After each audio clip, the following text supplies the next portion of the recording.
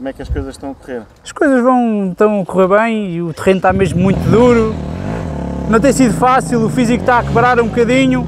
Amanhã é outro dia, são mais 150 km e vamos atacar amanhã para fazer o melhor possível.